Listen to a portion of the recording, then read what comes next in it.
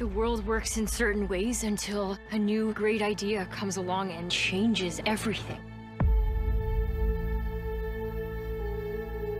What if you could test your blood in your own home? And what if it wasn't a whole vial, but just a drop?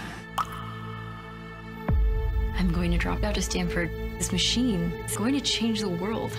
These kids don't overthink. They don't get bogged down about the way things have always been done. They want to change things now. Together, we are making healthcare accessible to everyone in this country. I don't understand how you're doing this extremely complex chemical engineering with a high school degree. This technology is 10 years away. Your idea is impossible, so you just keep trying. Do or do not. There is no try. That's Yoda. Okay. If you want this, you have to dedicate yourself. What are you willing to do to get it? I can't give them one reason to doubt me.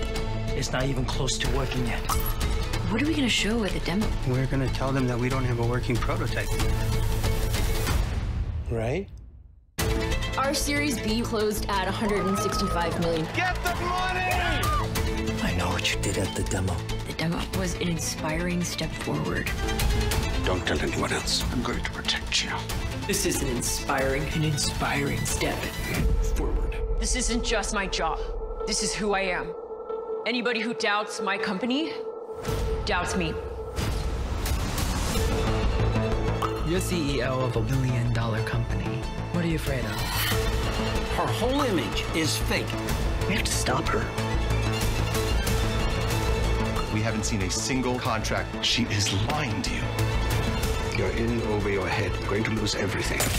No, I'm, I'm fine. Everything's fine. You don't understand the business. You don't understand the science! Your company was endangering lives. This is your dream, your story. People will trust the technology because they will trust you.